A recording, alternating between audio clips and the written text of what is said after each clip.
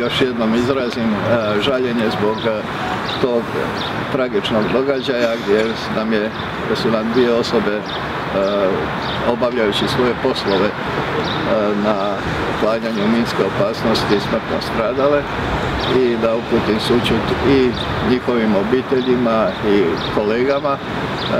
Mi znamo da je pirotehnički posao vrlo zahtjevan.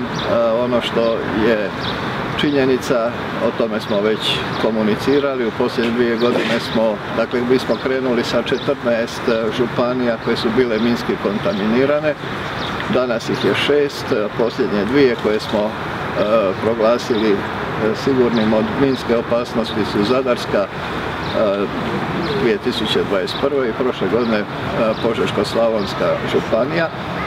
Lička županija s obzirom na prirodu i rata, agresije, s obzirom na činjenicu da je teren vrlo zahtjevan, je spada u one županije koje su najviše kontaminirane i samim time zbog prirode terena posao pirotehničara tamo je najzahtjevniji.